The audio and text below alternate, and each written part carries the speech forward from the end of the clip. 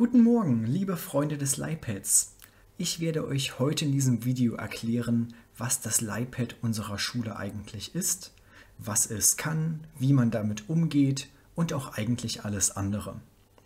Das Video wird dementsprechend lange. Überlegt euch also, ob ihr das Video am Stück schauen wollt oder nur die Teile anseht, die euch auch interessieren. Ja, ich mache dieses Video jetzt schon zum zweiten Mal, denn in meinem ersten Durchlauf hatte ich das Ganze mit der internen Kamera gefilmt, also eine Bildschirmaufnahme gemacht. Allerdings hat der Speicher des Gerätes nicht gereicht, denn euer iPad kommt nur mit 32 GB und naja, da kann man nicht wirklich lange aufnehmen. Von daher mache ich das jetzt zum zweiten Mal und diesmal filme ich einfach, wie ich damit arbeite. Das ist sowieso besser, das habe ich während des ersten Videos gemerkt. Dann seht ihr nämlich direkt, wo ich draufklicke und müsst nicht darauf achten, ob jetzt irgendein Button äh, verfärbt oder eben dunkel wird, ja, um das zu erkennen. Ja, wir können dann jetzt mal direkt anfangen und es geht damit los, sich erstmal anzuschauen, was wir überhaupt haben. Also, was ich hier auf dem Tisch nicht habe, äh, sind natürlich noch drei Utensilien, die habt ihr hoffentlich dabei. Das ist nämlich als erstes der Stecker. Das heißt, ihr habt äh, diesen dicken Stecker dazu bekommen, so ein 20 Watt Ladeteil, um das Tablet gut zu laden. Ihr habt ein Ladekabel bekommen und natürlich so einen niedlichen kleinen Stift, mit dem ihr auch wunderbar darauf schreiben könnt. Nein, also der Stift, der sieht ja aus wie so ein Wachsmalstift. Und ähm, naja, der ist eher dazu da, dass man mal so zwischen den Apps hin und her wischen kann, aber zum Schreiben ist er natürlich nicht geeignet. Außerdem habt ihr noch etwas bekommen, kein richtiges Zubehör, aber eine Schutzfolie. Und diese Schutzfolie solltet ihr tatsächlich äh, auf das Gerät draufkleben. Dazu müsst ihr es aus seinem Bumper holen. Der Bumper ist dieses ja, Kids-Cover, also diese fragwürdig hübsche Hülle, die aber einen sehr sinnvollen Effekt hat, denn die schützt euer Tablet wirklich gut. Ich hole es jetzt mal eben raus, um euch zu zeigen, wie ihr es danach wieder reinbekommt, denn ihr müsst das Tablet einmal rausholen, um die Schutzfolie aufzubringen. Die gefährliche bzw. Ja, interessante Stelle des Bumpers ist hier. Da ist nämlich eine große Öffnung und da muss man aufpassen, dass diese Ecke nicht abbricht. Von daher packen wir es dort immer als erstes rein und holen es dort auch als letztes raus. Das heißt, ich beginne jetzt genau gegenüber, das heißt in der Ecke und biege einfach vorsichtig das Gummi nach hinten. Das mache ich mit der nächsten Ecke und jetzt kann ich das Tablet eigentlich schon rausholen. So. Auf dem Tablet steht auf der Rückseite nochmal ähm, die Seriennummer, die Koffernummer und äh, die MAC-Adresse. Außerdem könntet ihr hier nochmal Stammgruppe und Name eintragen, aber das ist natürlich auch im Gerät gespeichert. Außerdem findet ihr von Apple dieselben Daten, also Seriennummer, was ich gerade meinte, noch einmal ganz klein hier unten, aber da man das nicht wirklich lesen kann, ist es vergrößert am oberen Rand des Tablets. So, jetzt äh, füge ich es wieder ein und nachdem ich das mit ungefähr 200 Tablets gemacht habe, sollte das nicht so schwierig sein.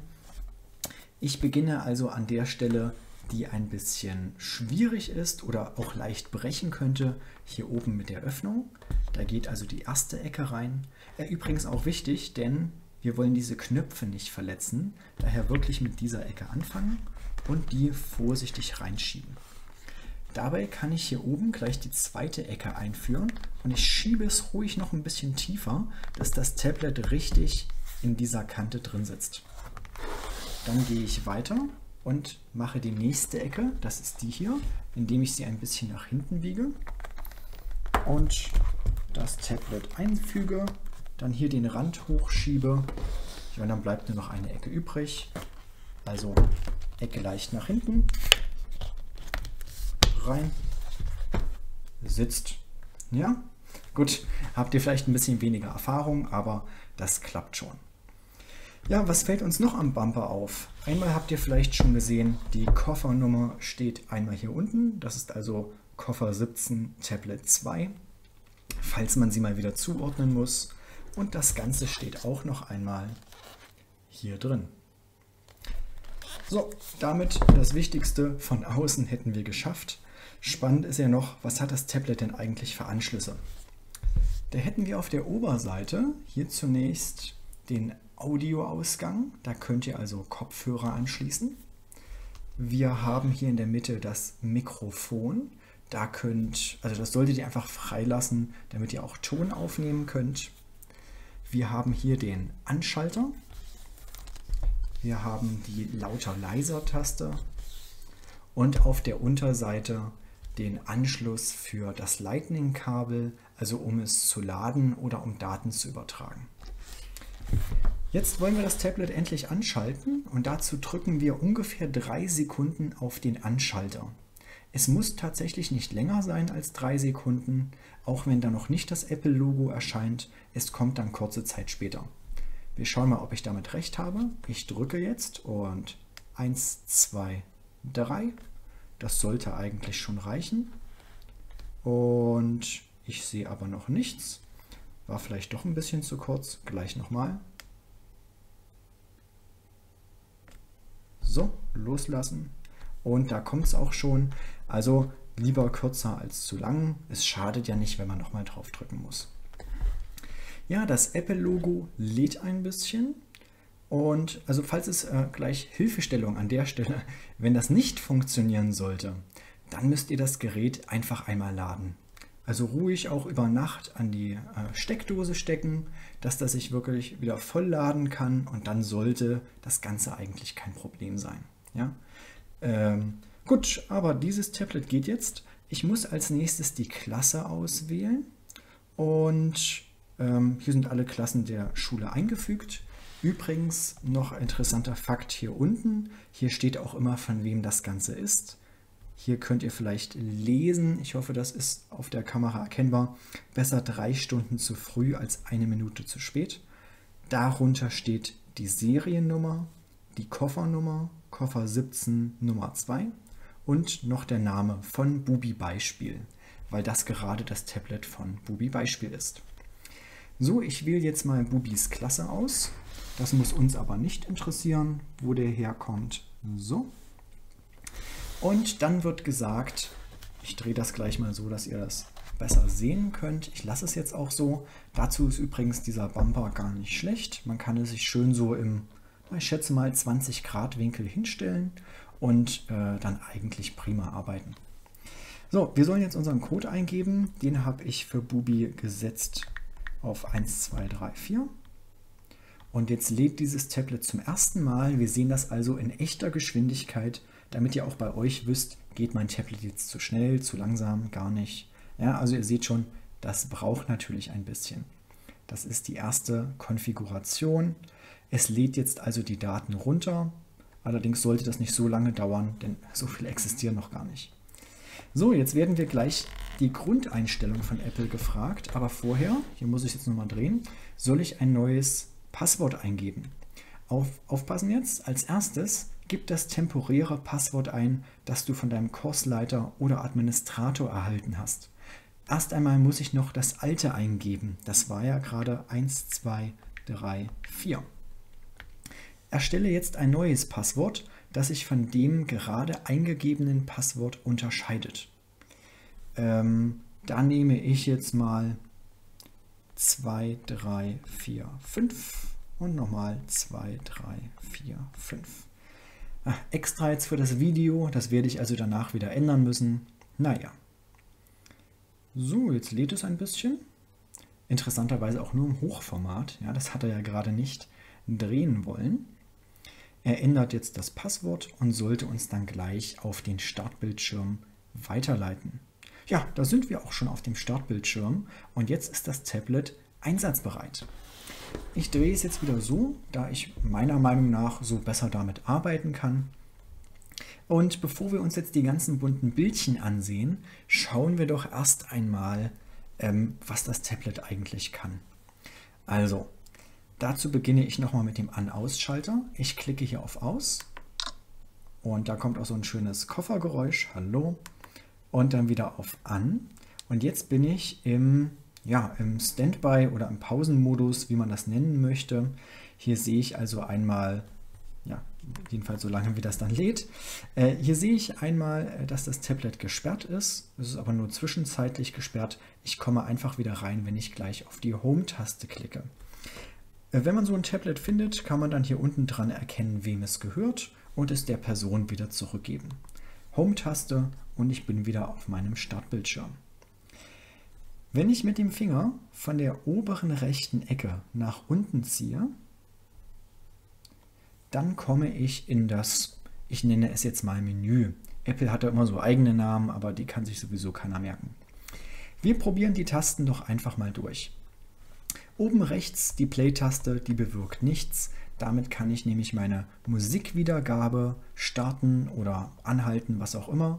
Aber bei mir läuft ja gerade gar nichts auf dem Tablet, Deswegen funktioniert das nicht. Ja, daneben habe ich die Taste mit den vielen Kreisen, die ich gerade blau gemacht habe. Das ist AirDrop. Damit kann ich Daten an andere Apple-Geräte in der Nähe schicken. Aber nur, wenn ich es aktiviert habe. Jetzt habe ich es aktiviert und könnte meinem Lehrer zum Beispiel das Arbeitsblatt schicken, das ich gerade ausgefüllt habe. Daneben haben wir den Flugzeugmodus. Ja, zudem gibt es auch nicht so dramatisch viel zu erklären. Flieg, flieg. Nein, also das bedeutet, ihr habt schon gesehen, das WLAN hat sich ausgeschaltet. Ähm, dabei wird einfach ähm, keine Verbindung von außen mehr zugelassen. Wenn ich den Flugzeugmodus ausmache, geht das WLAN gleich wieder zurück. Damit habe ich es schon erklärt. Die Taste ist WLAN und die Taste ist Bluetooth. WLAN ist klar, damit bekomme ich Internet und Bluetooth brauche ich zum Beispiel für nahe Geräte. Da könnte ich einen könnte ich Kopfhörer anschließen, einen Stift oder eben ein anderes Gerät. Ich mache beides mal wieder an. Unten drunter haben wir den Mond. Da steht auch schon nicht stören, dann bekomme ich keine weiteren Nachrichten. Und hier haben wir die Ausrichtungssperre. Jetzt bleibt das Tablet so ausgerichtet, auch wenn ich es irgendwie drehe, ja, zum Beispiel so hochkant, dreht sich nicht. Wenn ich dagegen die Ausrichtungssperre, na, Vorführeffekt, genau. Wenn ich die Ausrichtungssperre ausmache, dann dreht sich das Tablet immer entsprechend, wie ich es halte.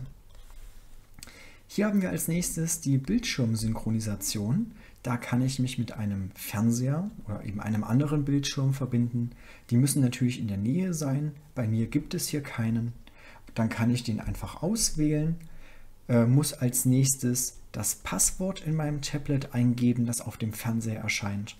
Und schon kann ich auf dem Fernseher präsentieren. Ja? Einfach, aber praktisch. Diese beiden Schieberegler sind die Lautstärke und die Helligkeit. Also man sieht auch, die Helligkeit ist echt nicht schlecht bei den Geräten. So sieht man mich durch das Gerät durch. So sieht man jetzt wirklich nur noch das Gerät, weil es so hell leuchtet. Und jetzt haben wir hier unten noch die Stummschaltung. Damit hören wir also auch keine Tastengeräusche oder sonstiges. Und das hier beides sind App-Abkürzungen. Mit diesen Zeichen kommen wir ganz schnell zu dem Notizblock. Hiermit können wir Fotos machen und hier können wir eine Bildschirmaufnahme, eine Bildschirmaufnahme starten. Wichtig ist da, wenn ihr den Bildschirm aufnehmen wollt, haltet das Zeichen gedrückt und Mikrofon müsst ihr hier extra auf Anstellen. Nicht wundern, sonst macht ihr ein Video und man hört gar nichts. Ich könnte jetzt die Aufnahme starten und wir erkennen das gleich hier oben. Da ist das Aufnahmezeichen. Diese Aktion, ja, dass ich gerade die Bildschirm, diese Sachen hin und her geschoben habe, die wurde jetzt gespeichert. So, Bildschirmaufnahme stoppen. Ja, ich möchte sie stoppen. Und da wurde sie gleich in Fotos gesichert. Dazu komme ich aber später, wenn ich die ganzen Apps durchgehe. Was kann ich noch machen? Ich kann am Bildschirmrand Mitte von oben nach unten ziehen. Na, will er nicht? Will er nicht. Doch, jetzt will er. Dann kommen wir in den äh, Sperrbildschirm mit ja, den aktuellen Infos, also dass die Bildschirmaufnahme gerade gesichert wurde und dass wir nicht stören aktiviert haben. Alles klar. Ich kann den Bildschirm auch noch von links nach rechts ziehen. Da komme ich zu meinen Widgets die kann ich aber gerade nicht bearbeiten. Ich weiß auch nicht warum. Widgets sind eigentlich wie diese kleinen App Hilfsprogramme, Vorschaubilder, mit denen ich aber vielleicht schon etwas mehr sehen kann. Ich könnte die also in groß anzeigen und zum Beispiel sehen, was sind meine ersten drei Erinnerungen. Gut, das will aber nicht. Normalerweise könnte ich jetzt auch noch nach rechts scrollen und komme dann auf die nächste Seite Apps, aber da das hier alle Apps sind, die aktuell installiert sind, ist das nicht möglich. Ja, wunderbar. Damit haben wir die allgemeine Einführung für das Tablet geschafft. Ich bin aber noch nicht fertig, denn jetzt gehen wir ernsthaft alle Apps durch. Keine Sorge, es wird bei jeder App ein bisschen schneller. Das heißt, ich werde jetzt erst über die App-Einstellungen reden. Das wird eine Weile dauern. Dann über die wichtigsten Apps. Das sind natürlich die, die hier unten im Dock sind. Das Dock ist angedockt. Das ist also immer fest hier unten. Oder wenn ich es drehe, ja, dann ist es halt an der Seite unten. Und dort finde ich alles Wichtige, was ich also auf jeden Fall in der Schule brauchen werde. Ja, ich würde sagen, wir fangen mal einfach an mit dem Spaß. Noch ein kleiner Schluck zur Stärkung. Und damit gehen wir in die Einstellungen. In den Einstellungen sehen wir hier links eine Leiste. Da können wir lang scrollen mit den ganzen Apps und Funktionen. Wir beginnen ganz oben und klicken auf uns selbst, Afrika 3, Schüler 3. Da passiert nichts, denn das iPad wird verwaltet. Das bedeutet, allgemeine Einstellungen, wie euch umzubenennen, könnt ihr nicht machen. Das können nur die Schuladministratoren. Der erste Punkt ist das WLAN. Das WLAN kann ich hier auch nochmal an- und ausschalten. Das haben wir eben schon gemacht und ich kann sehen, welche WLAN-Adressen, also welche Router gibt es in der Nähe. Wir sind aktuell mit einer Fritzbox verbunden und sehen, es gibt hier auch noch andere, zum Beispiel Umpa Lumpa. Könnte ich jetzt anklicken, wenn ich dann das WLAN-Passwort weiß, das Ganze eingeben und schon habe ich Internet. Ja, ganz einfach. Äh, solltet ihr dann so zu Hause machen, in der Schule verbindet sich das Tablet ganz alleine mit dem WLAN neue IGS. Als zweites haben wir Bluetooth. Ja, das ist nicht sonderlich spannend. Ihr seht, er sucht gerade nach Geräten. Ich habe aber keine Geräte angeschaltet. Von daher, also ich habe keine Kopfhörer oder so hier liegen. Nützt uns das nicht viel. Ich kann es auch hier ausschalten, genauso wie das WLAN. Kann ich aber auch wieder anlassen. Ja? Noch nichts Spannendes bis hier. Als nächstes haben wir die Classroom-App. Mit der könnt ihr aber auch nichts machen. Die können nur die Lehrer einsetzen. Ihr könnt nur überprüfen, ob das soweit stimmt. Hier sehen wir zum Beispiel, Bubi Beispiel geht in die Klasse Afrika 3. Das stimmt. Also an dieser Stelle ist einfach alles in Ordnung. Jetzt kommen wir zu den Einstellungen. Da könnt ihr überprüfen, ob die so sind, wie ihr das möchtet. Einige könnt ihr natürlich nicht ändern und dazu gehören die Infos. Hier sehen wir zum Beispiel, was das Ganze für ein Tablet ist. Für euch vielleicht spannend die Softwareversion 14.2 und der Modellname, das ist ein iPad der siebten Generation. Das ist wichtig, wenn ihr zum Beispiel Zubehör kauft, also einen Stift. Dann müsst ihr nicht extra den teuren Apple Pen für 135 Euro oder sowas kaufen, sondern es reicht auch schon einer für 25 Euro, zum Beispiel von Amazon, der iPads ab der siebten Generation unterstützt. Und diese Geräte gibt es und ähm, dazu werde ich aber noch ein eigenes Video machen, welcher vielleicht da sehr empfehlenswert ist. Ja, sonst sehen wir, was wir schon gemacht haben. Wir haben bisher null Fotos und ein Video. Das haben wir ja gerade zusammen aufgenommen. 29 Apps. Und wir haben noch 12,46 GB verfügbar. Der Rest ist eben schon für die Apps beziehungsweise einfach für das echt große Betriebssystem draufgegangen. Da kann man leider nichts machen. Da müsst ihr also sparsam sein und es empfiehlt sich schon mal drüber nachzudenken, ob man sich vielleicht nicht einen Stick besorgen sollte. Es gibt extra solche, die kann man an einen, mit USB an den Windows-Rechner machen und mit Lightning-Port an ein Tablet.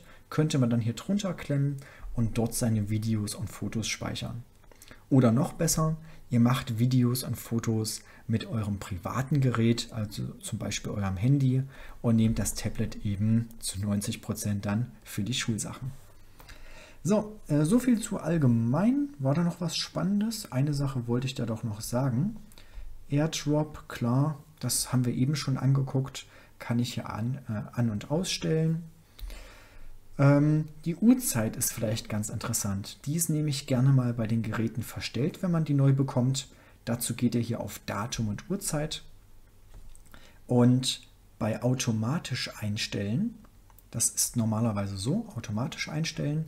Und dann ist das aber nicht unbedingt richtig, weil das Tablet nicht ganz versteht, wo es überhaupt ist. Macht das also aus, sagt als Zeitzone Berlin und dann ist alles in Ordnung. Also jedenfalls, wenn ihr mit eurem Tablet in der Zeitzone Berlin seid. Ja? Und das solltet ihr in Deutschland im Allgemeinen sein. So, sonst, ja, man kann natürlich jetzt noch bei Schriften gucken, Tastatur, aber ich denke mal, das ist nicht weiter spannend. Wenn ihr die Sprache verstellt haben solltet, findet ihr die hier. Sonst lasst ihr das natürlich in der Regel bei ähm, Deutsch. So, wir kommen zu Anzeige und Helligkeit. Das ist vielleicht ganz interessant, ja, wenn man das iPad ein bisschen cooler aussehen lassen möchte, stellt man das natürlich auf dunkel. Äh, spannend ist auch der Punkt automatisch. Da, den nutze ich zum Beispiel. Das heißt, bis zum Sonnenaufgang bleibt das iPad dunkel und äh, ist dann eben tagsüber hell.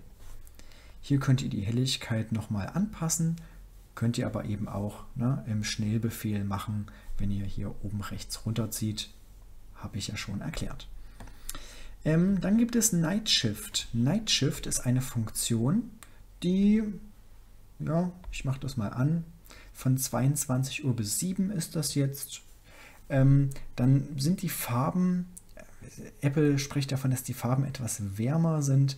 Ja, also es ist dann so, dass es nicht mehr so anstrengend am Abend für die Augen ist. Ist mein Eindruck. Von daher ist das gar nicht mal so schlecht. Als letztes könnt ihr noch die Textgröße und Text dicker einstellen. Ihr achtet hier mal links auf den Rand. Ich könnte das also sehr klein machen oder auch wirklich gigantisch. Oh, jetzt weiß ich gar nicht, wie es war. Ich glaube genau in der Mitte. Ihr könnt den Text auch fett machen, aber dafür gibt es eben äh, eigentlich keinen Grund. Ja? Ist aber eine nette Sache, wenn man vielleicht beeinträchtigt ist im Sehen, dann kann man das ja durchaus nutzen. So, ich denke, wir waren gerade bei Anzeige, ne? Genau, dann sind wir jetzt bei Homebildschirm. Hier gibt es die Möglichkeit, die Apps größer anzuzeigen. Nochmal zum Vergleich. So sieht das aktuell aus. Und so sieht das in groß aus. Ja, vielleicht ein bisschen wie ein Kindertablet. Außerdem passen sie jetzt gar nicht mehr alle auf eine Seite, sondern braucht zwei. Andererseits ist das nicht schlecht, denn man kommt vielleicht schneller drauf, sieht das ein bisschen schöner und wir werden letztendlich wahrscheinlich nur 20 äh, Apps an der Schule haben. Also diese Übersicht ist gar nicht mal so unpraktisch. Ich stelle es jetzt trotzdem wieder zurück, weil es dann doch ein bisschen erwachsener aussieht. Ähm, Multitasking, da kann man einstellen, dass man Apps auch nebeneinander verwenden möchte. Das ist nicht schlecht. Vorgeschlagene und letzte Apps im Dock anzeigen. Das empfehle ich auszustellen. Ähm, wie das aussieht, ich mache, ah, muss ich doch schon mal eine App aufmachen. Ich mache mal die Fotos-App auf. Jetzt sagt er mir, dass ich hier zoomen kann. Ich kann Untertitel zu Fotos hinzufügen. Das ist tatsächlich nicht schlecht. Ich hoffe, wir denken nachher dran, das mal zu machen. So, jetzt habe ich die App aufgehabt. Ich schließe sie direkt wieder. Und jetzt sehen wir hier, dass ich sie zuletzt geöffnet hatte. Sowie dann noch bis zu zwei weitere. Also die drei letzten Apps stehen hier unten. Ja, also ich mag es gar nicht. Dann, dann ist einfach irgendwie so hin und her, wo muss ich jetzt draufklicken, so viele Bildchen, das ist mir einfach zu viel. Von daher, ich persönlich würde empfehlen, das auszumachen und dann hat man im Dock einfach nur das, was auch ins Dock gehört, nämlich die wichtigen Apps. Ja? Aber das ist sicherlich Geschmackssache. So, die Bedienhilfen sind auch dafür da, wenn man bestimmte Unterstützung braucht. Zum Beispiel, ja, man kann sich äh, vorlesen lassen mit VoiceOver, was man dort eigentlich gerade sieht. Man kann eine Bildschirmlupe äh, nutzen. Ähm, hier kann man auch nochmal die Tastaturen genauer einstellen und so weiter. Ähm, aber nichts, das man jetzt bräuchte im Allgemeinen. Ja, damit müssen sich einige Leute sicherlich beschäftigen, die das betrifft. Aber also dann wisst ihr schon mal, wo das Ganze steht, nämlich bei Bedienungshilfen. Wir kommen zu den Tönen. Laute Töne reduzieren, das ist vielleicht gar nicht schlecht, aber wer gerne laute Musik hört, will das vielleicht gar nicht unbedingt machen. Äh, wir können die Lautstärke allgemein einstellen. Und äh, die beiden hier sind, denke ich, spannend, gerade für den Unterricht. Die Tastaturanschläge können wir ausstellen und auch den Ton beim Sperren. Also damit ist das hier gemeint, diese Tür. Jetzt habe ich es gar nicht gehört. Habe ich es schon ausgemacht? Ähm Ach so, ich weiß, warum ich es nicht gehört habe. Wir haben ja die Töne bereits ausgestellt. Ich mache mal ruhig sogar alles an, ne, damit äh, wir es sicher hören können. Jetzt sperre ich das und ihr hört dieses lustige Geräusch. Ja, wie so eine, wie so eine kleine Tür, ich weiß es nicht. Ähm, das kann natürlich nervig sein, genauso die Tastatur. Da wisst ihr alle, wie das klingt, dieses leichte Ploppen. Empfehle ich beides auszustellen, ähm, ja, eben gerade mit äh, Blick auf den Unterricht. Dann können wir Siri einstellen. Wichtig ist, dass äh, auf Siri achten ausgestellt ist. Einfach, ähm, damit man im Unterricht nicht Hey Siri sagt und auf 15 Plätzen antworten auf einmal die Tablets. Das wäre eher nervig. Ähm, dagegen für Siri Home-Taste drücken. Ähm, meines Wissens muss man die dann ein paar Sekunden drücken. So, ich möchte Siri. Ja, Siri muss man dann dran denken, wenn man die nutzt äh, sendet sie bestimmte Daten weiter. So ist das eben bei Apple. Muss man sich überlegen, ob man das möchte. Siri, nee, aber Aufnahmen teilen möchte ich nun sicherlich nicht. Man muss es ja auch nicht übertreiben. Und jetzt müsste ich die Home-Taste gedrückt halten können, um Siri zu aktivieren. Ich teste gleich mal, ob das klappt. Was ist 0 geteilt durch 0? Stell dir vor, du hast 0 Kekse und verteilst sie gleichmäßig auf 0 Freunde. Wie viele Kekse bekommt jeder? Siehst du, das ergibt keinen Sinn. Und das Krümelmonster ist traurig, weil es keine Kekse mehr gibt. Und deine Freunde sind traurig, weil sie nicht existieren. Hoch, das ist jetzt aber schnell ausgeartet. Äh, ja, das kannte ich bisher auch ein bisschen anders. Ich kannte so am Ende äh, und das Krümelmonster und so weiter und dann und du bist traurig, weil du keine Freunde hast. Ich weiß nicht, ob ich das jetzt sogar noch schlimmer finde, die neue Variante. Ähm, aber gut. Also das kann man hier äh, mit Siri machen. Gut, aber ich glaube, ich mache das mal wieder aus, denn Siri deaktivieren. So, wir brauchen Siri jetzt eigentlich nicht. Kann man aber, kann man nutzen. Ja? Dann der Apple Pencil. Mit Apple Pencil ist nicht nur der Apple Pencil gemeint, wenn ich das aktiviere. Äh, ich habe es vorhin schon mal gesagt, bestimmte Stifte so im, im Bereich von ähm, 25 Euro funktionieren damit auch. Ich möchte jetzt aber doch mal wieder hell. Ah, ich glaube, das ist besser im Video zu sehen. Ne? So, zurück zum Apple Pencil. Ähm, ja, wichtig ist diese äh, Option, damit das Tablet nur den Stift erkennt. Denn wenn ich so schreibe, ich kann das ja mal so zeigen, oder so, dann liegt sonst der Handballen auf dem Tablet und der würde dann bei den entsprechenden Apps mitschreiben. Also man würde dann dort Punkte und Striche sehen. Das passiert nicht, wenn man extra diese Funktion aktiviert. Dann wird wirklich nur ein Stift als Stift erkannt. Dazu braucht man allerdings einen Stift. Also für uns ist das erstmal irrelevant, denn ich habe jetzt ja gerade keinen angeschlossen. Wir kommen zur Batterie. Das ist eine sehr sinnlose Einstellung. Also man kann das Prozentzeichen mit der, mit der Zahl wegmachen. Wir sehen, meine ist gerade zu 99% geladen. Ja, und jetzt sehen wir nur noch das Batteriezeichen, aber nicht, wie viel Prozent das sind. Ich weiß nicht, wofür das gut ist. Vielleicht für Leute, die Angst vor Zahlen haben oder so, dass sie das nicht sehen müssen. Wir sind beim Datenschutz. Hier kann ich einzeln gerade sowas wie Ortungsdienste einstellen. Ihr kennt das sicherlich. Die Fotos-Apps auf den meisten Geräten wollen ja gerne wissen, wo das Foto gemacht wird, damit sie es auch später auf einer Karte anzeigen können. Und diese Einstellung kann man hier machen. Wie ihr seht, sind die Ortungsdienste ähm, von der Grundeinstellung des Gerätes auf aus. So, dann kommen wir zu den Passwörtern. Wenn ich jetzt noch wüsste, ich glaube, wir haben 2, 3, 4, 5 genommen. Ja. Ähm, ja, hier kann ich jetzt eben meine Passworteinstellung machen. Ich habe aber offensichtlich noch gar keine anderen Passwörter auf dem Gerät gespeichert. Also ist das für mich aktuell durchaus irrelevant. Ja, hier kann ich jetzt tatsächlich äh, nichts weiter machen. Das müsst ihr euch auch überlegen. Ich empfehle euch als Schüler, die wichtigsten vier Passwörter auswendig zu lernen. Also es sind für eure Schulzeit meines Wissens tatsächlich nur vier. Sehen wir mal durch, ob es stimmt. Also einmal hätten wir den Spindcode, der ist vierstellig.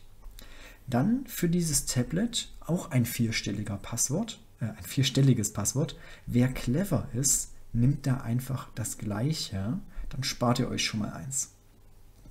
Dann habt ihr ein komplizierteres Passwort für iSurf. Also ich glaube, das braucht mittlerweile auch Groß- und Kleinbuchstaben und so ein Spaß. Das muss also schon äh, ein Satz sein, mit dem ihr euch das merkt. Und dann haben wir als letztes eventuell noch Office, wenn eure Tutoren das aktiviert haben, also für die Office-Apps. Da könnt ihr aber wiederum dasselbe nehmen wie für iSurf. Also könnte, sollte man das machen. Da muss man überlegen, wie gut ist mein Passwort, wie sicher habe ich das. Aber selbst im schlimmsten Fall, wenn ihr vier unterschiedliche habt, sind es halt nur vier Apps. Ich denke, damit kann man leben. So, Kontakte. Da könnt ihr grundsätzlich nichts machen, denn Kontakte ist deaktiviert. Genauso der Kalender. Denn wozu sollte man das schon groß nutzen? Was ihr dagegen nutzen könnt, ist Notizen, gerade wenn ihr einen Pen habt, um eben auf das Tablet zu schreiben. Hier ist diese Option spannend. Ihr könnt die fertigen Notizen in Fotos sichern. Äh, das ist äh, ganz nett, gerade wenn man seine Notizen dann teilen will oder ähm, irgendwo anders speichern möchte. Außerdem kann man hier Kleinkram machen, also zum Beispiel sagen, ich möchte standardmäßig meine Notizen auf kariertem Papier schreiben, dann wird das grundsätzlich ähm, so ausgelegt. Wir schauen mal, wenn wir zur Notiz-App kommen, ob sich das Apple schon gemerkt hat. Ja, dasselbe gilt für Erinnerungen. Hier kann ich mir ein paar kleine Einstellungen machen. Das hier ist vielleicht ganz spannend. Ihr könnt euch einstellen, wann wollt ihr an ganztägige Erinnerungen erinnert werden. Ähm, da ist zum Beispiel sinnvoll, bevor man aus dem Haus geht, sagen wir mal, das ist 6.45 Uhr, da verlasst ihr euer Haus und dann sollt ihr nochmal daran erinnert werden, zum Beispiel habt ihr euch aufgeschrieben, ich soll meinen Turnbeutel mitbringen. Und dann erinnert euch das Tablet nochmal dran, hey, 6.45 Uhr, denkt dran, heute Turnbeutel. Ja, kann man machen. FaceTime ist deaktiviert. Safari ist der standardmäßige Browser auf den Tablets, also der von Apple. Hier kann ich die Suchmaschine einstellen und dann eben Standarddinge. Ja? Also ich kann mir, ob ich die Favoriten sehen will, ähm, ich mache mal Favoritenleiste auf Einblenden. Wobei, ich zeige es gleich nochmal dann in der App, wie man das macht. Ähm, und verschiedene Kleinigkeiten. Dass man, ob man die Tabs sehen möchte, das wollen wir. Also grundsätzlich könnt ihr diese Sachen so lassen, wie sie eingestellt sind. Wer sich damit noch genauer beschäftigen will, kann das machen. Aber ich möchte jetzt auch nicht zu sehr ins Detail gehen, denn ich möchte in anderthalb Stunden fertig werden und nicht in zwei Tagen. Das hier gehört zur Classroom-App, der Klassenfortschritt. Da kann man eventuell sehen, wenn man Aufgaben von den Lehrern bekommen hat, wenn sie das denn so nutzen.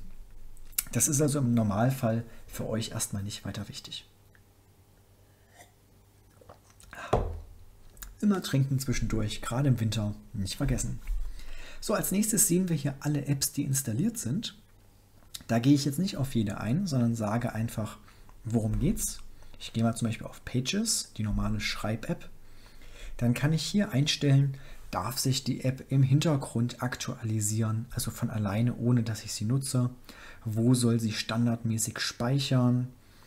Ähm, was gibt es für Infos zu der App? Ja, und das ist letztendlich bei jeder sehr ähnlich, wie ihr hier seht. Ja, sind immer solche Einstellungen. Ja, damit haben wir die allgemeine Option Einstellung geschafft. Das war jetzt die längste App. Habt ihr schon mal einen großen Punkt äh, fertig, denke ich. Wir schauen uns jetzt die weiteren Apps an, die ich dabei auch grundsätzlich nochmal erklären werde, wie das Ganze funktioniert. Und ähm, ja, dann machen wir das doch mal direkt, dass wir hier nicht so ewig brauchen. Ich schaue mal auf meinen schlauen Zettel, ob ich noch irgendwas Wichtiges sagen möchte. Aber ähm, ich glaube, das habe ich soweit. Ich komme sonst später sicherlich nochmal drauf. Ähm, ah ja, ein Punkt zum An- und Abmelden habe ich da noch gefunden.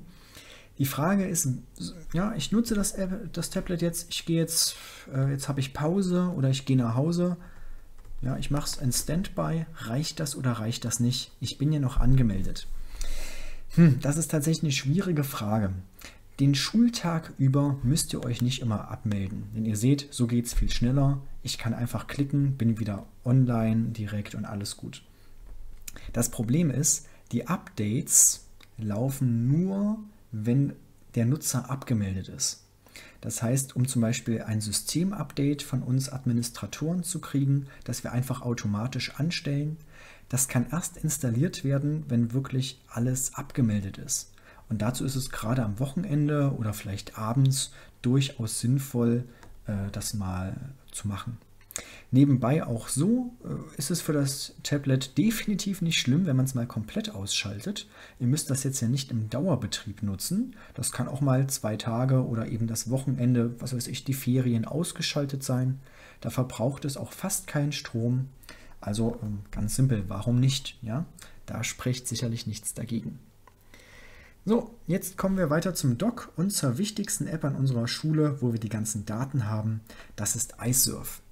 Über iSurf könnt ihr euch grundsätzlich auch über den Browser anmelden. Ihr werdet aber später sehen, warum es durchaus wichtig ist, äh, die App zu verwenden. Ähm, daher machen wir das jetzt erstmal. Ich verwende jetzt iSurf, klicke hier auf Weiter und bei uns an der Schule ist es neue igs.org. Das gebt ihr ein und klickt auf Weiter. Und wenn das richtig gelaufen ist, dann seht ihr hier schon unser Schuhlogo oben in der Mitte. Das scheine es gerade richtig eingegeben zu haben. Jetzt kommt mein Kontakt. Das ist Bubi Beispiel. Und sein Passwort, ich muss heute gefühlt wahrscheinlich sowieso seine ganzen Passwörter ändern, ist aktuell Bubi Superchef.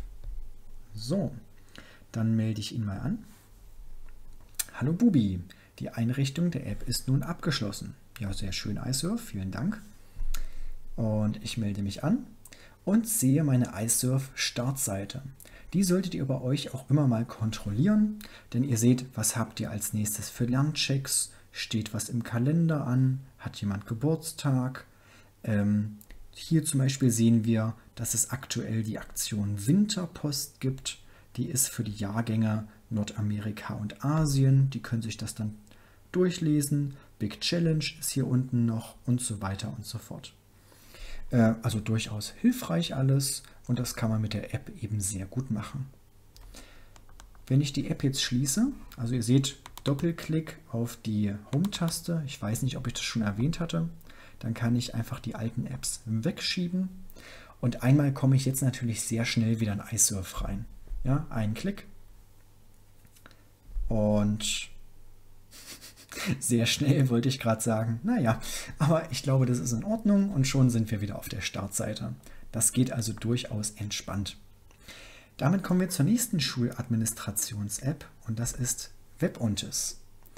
Bei oder Untis Mobile heißt es jetzt in diesem Fall, weil es die Variante ähm, ja, für die Tablets ist. Hier gehen wir auf Profil hinzufügen und suchen nach neue IGS und dann kommen wir auch schon als Vorschlag hier als zweites. Das klickt ihr einmal an, neue IGS Göttingen. Und jetzt denkt ihr, hm, ich habe aber gar keinen Benutzername oder ein Passwort. Das macht gar nichts. Ihr klickt einfach auf Anonym, Login und schon seid ihr eingeloggt und habt das Ganze. Ja? Übrigens sogar mit einem kleinen Bonus. Ihr habt nämlich gerade sogar die Premium-Version für die Schule. Also hier okay, das finden wir gut. Und wir sind sogar Beta-Tester, das finden wir auch gut. Und jetzt könnten wir uns hier den Stundenplan auswählen. Ähm, da klickt ihr einfach auf Stundenplan und sucht euch euren entsprechend aus. Das muss ich jetzt ja nicht machen und der wird dann hier hinten eingeblendet. Ihr seht dort auch immer die neuesten News, wenn es Vertretung gibt, eventuell sogar die Vertretungsaufgaben. Falls eure Lehrer das machen, seht ihr auch, wann Lernchecks geschrieben werden. Also Untes ist da nicht schlecht. Äh, was ist wofür? iSurf ist eher für allgemeine Daten. Das heißt, wenn ich einem Lehrer etwas schicke, zum Beispiel, zum Beispiel per E-Mail, ich soll was im Aufgabenmodul hochladen. Und und ist eher für die Organisation. Also was habe ich eigentlich nächsten Blog? Ähm, muss ich da noch etwas extra machen und solche Geschichten. So, und dann kommen wir zu Safari. Bei Safari sehen wir links die Lesezeichenliste, die aktuellen Favoriten und können dort entsprechend wählen. Die Lesezeichenliste kann ich auch wegmachen, um einfach mehr zu sehen. Ja, wie arbeite ich jetzt damit? Bei Suchbegriff gebe ich die entsprechende Seite ein, zum Beispiel ähm, neue IGS Göttingen, da steht das schon. Und die möchte ich jetzt mal zu meinen Favoriten hinzufügen. Wie mache ich das denn? Dazu klicke ich auf das äh, Viereck mit dem Pfeil nach oben und sage, ich möchte es als Favorit sichern. So, wie nenne ich das Ganze? Ja, ich lasse mal das Home weg. Ich nenne es neue IGS Göttingen, sichern und damit habe ich das. Wo ist es gelandet? Hier bei dem Buch unter Favoriten steht hier jetzt neue IGS Göttingen. Wenn ich einen Favoriten nicht mehr will, kann ich den auch so wegschieben. Ja, dann lösche ich den. Ich kann das hier auch ein bisschen umbauen, ja, über Bearbeiten. Könnte ich mir einen neuen Ordner machen. Nenne ich vielleicht Mathe. So.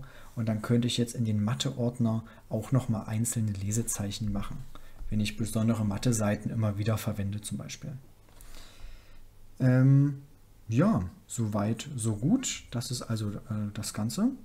Ich kann mit dem Plus einen weiteren Tab öffnen. Da könnte ich jetzt zum Beispiel mal hier Bing nehmen als Suchmaschine. Ja, das ist so wie Google halt von Microsoft. Ähm, muss man dann wieder die Cookies akzeptieren, wenn man das nutzen möchte. Und ähm, ja, Bild des Tages zum Beispiel, hier dieser einsame Berg, den könnte ich jetzt anklicken. Und wenn ich die ja, wenn ich langsam denke, ich habe aber ganz schön viel, ich verliere den Überblick über meine Tabs, kann ich auf die Taste oben rechts klicken. Dann sehe ich die alle nebeneinander. Also hier sehe ich jetzt, was ich gerade auf Bing gemacht habe. Hier die Homepage. Ich kann die auch einzeln wieder schließen. Und ja, ich denke, ihr wisst grundsätzlich, wie man mit einem Browser arbeitet. Dann haben wir Documents. Documents, wie der Name schon sagt, ist für Dokumente. Wir müssen hier am Anfang natürlich noch klicken, dass wir das alles verstanden haben. Anmeldung erforderlich. Mhm. Abbrechen. Das möchte ich eigentlich nicht. Ich wüsste auch nicht, dass ich mich da anmelden muss. Falls sowas kommt, braucht ihr nicht. Weiter, weiter. Äh, ihr könnt übrigens mit den Tablets auch nichts falsch machen. Hier steht jetzt zum Beispiel 7 Tage testen, danach 90 Euro pro Jahr. Das ist, das, das ist ordentlich. Ich klicke mal drauf und jetzt steht aber da In-App-Kauf fehlgeschlagen. Äh, das ist nämlich für die LiPads nicht eingerichtet. Also keine Angst, da kann euch grundsätzlich nichts passieren. Ja, hier sehen wir jetzt ein paar Beispieldateien, zum Beispiel dieses Beispiel-PDF. Und das Gute an Documents ist, wir können prima damit arbeiten. Ich kann in diesem PDF jetzt zum Beispiel mit der Markierfunktion, ja, ich wusste das schon, mit der Markierfunktion Text markieren. Ich kann auch Text unterstreichen. Ich kann Text durchstreichen. Ich kann per Hand markieren. Ich kann sonstige Notizen machen. Ich kann Formen einfügen.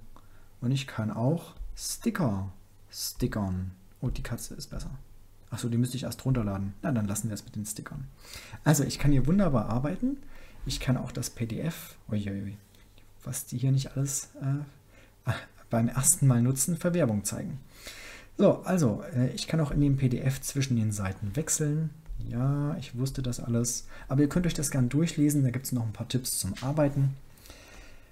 Ähm, das ist also äh, gut, um PDFs zu lesen. Ihr könnt aber auch andere Daten dann damit gut verbinden. Dazu komme ich aber noch, ähm, wenn wir gleich ein paar Daten erstellen.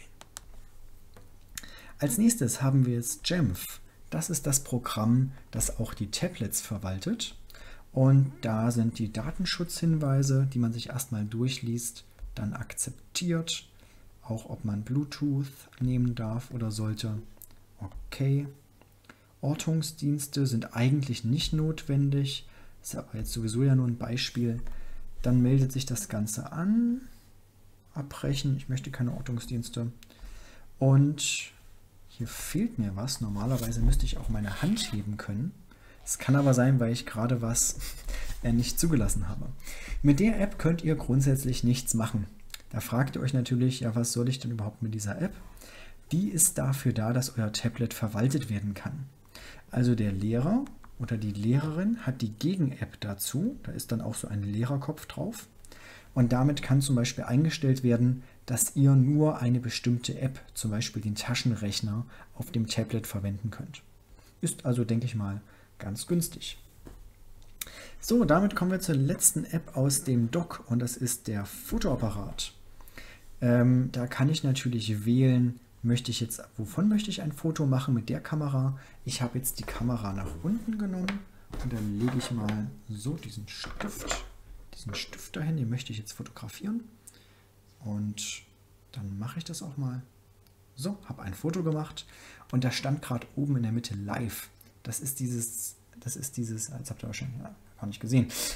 Das ist dieses Foto, äh, dieses Zeichen mit der Sonne. Das kann ich auch ausstellen und dann mache ich ein normales Foto. So, diesmal hat er auch ein Geräusch gemacht. Ja, äh, nicht großartig spannend. Ich habe es jetzt auch nicht besonders scharf hinbekommen. Das hier ist das Live-Foto, das ich gerade gemacht habe. Live-Foto ist letzt weg mit dir. Live-Foto ist letztendlich sowas wie ein kurzes Video. Ich kann hier draufklicken. Ich das auch mal. So, habe ein Foto. Ja, und dann hört man mich nochmal. Also Live-Foto, ich weiß nicht, was das soll. Mini-Video. Und dann sehen wir aber auch noch, was ich als zweites gemacht habe, ähm, dieses unscharfe Foto. Das ist jetzt aber wirklich ein Foto, wie man das Ganze auch kennt. So, ich schließe erstmal wieder meine letzten Apps. Immer mal wieder ein bisschen aufräumen. Denn das waren jetzt erstmal die wichtigsten Apps aus dem Dock. Und jetzt schauen wir uns als nächstes an, was ist gerade auf dem Tablet installiert. Also was sind denn aktuell die Apps, die so wichtig sind, die in der Schule eingesetzt werden könnten. Und keine Sorge, das sind nicht alle, das sind eigentlich nur die obersten zwei Reihen. Die, die dritte Reihe, das sind Apps, ja, die sind durchaus wichtig, die werden wahrscheinlich draufbleiben. Die unterste Reihe sind Apps, die ihr vielleicht, wenn ihr das Video schaut, schon gar nicht mehr auf eurem Gerät habt. Da müssen wir nämlich erstmal noch sehen, ob die nützlich sind. Aber vielleicht gibt es dafür dann noch wieder neue unten drunter. Also Apps sind natürlich immer am Kommen und Gehen, so wie das eben damit ist. Daher schauen wir uns die jetzt nach Wichtigkeit an. Wie ihr schon gehört habt, ist bei mir die Erinnerungs-App durchaus beliebt. Ähm, warum? Weil man damit gut arbeiten kann. Und zwar fangen wir mal direkt an. Für heute mache ich mir eine Erinnerung. Jedenfalls müsst so, jetzt geht's. Und zwar heißt die Erinnerung, ich möchte heute Kuchen backen. Und ja, ich finde das ganz entspannt, super einfach. Hier steht die Erinnerung. Ich habe jetzt eine geplante Erinnerung, eine für heute, eine insgesamt, eine in der Liste Erinnerung. Ist hoffentlich verstanden. Ich kann die dann später anklicken, dann habe ich sie erledigt und zack, verschwindet sie. Ja, ähm, warum ist das denn ganz nett? Weil ich das noch ein bisschen genauer machen kann. Ich kann jetzt nämlich in meine Liste Erinnerungen gehen und sagen, eine neue Erinnerung, und zwar möchte ich zur Schule gehen. Zur Schule gehen. Und hier oben kann ich jetzt auswählen, was, wo, wie. Und da wähle ich jetzt mal als Datum morgen. Und dann klicke ich auf Enter und ist das direkt eingetragen. Ja, bin ich fertig. Finde ich eigentlich ganz entspannt. Eine schöne Art, günstig sich sowas zu notieren. Ich kann es aber noch genauer machen. Ich könnte jetzt als neue Liste in Blau, ja, finde ich gut, sowieso eine Liste Schule anfertigen. Und in dieser Liste Schule kann ich jetzt extra Erinnerungen für die Schule aufbewahren. Zum Beispiel was möchte ich in der Schule machen? Zuhören. Ja, also ich denke mir jetzt einfach irgendwelche Sachen aus.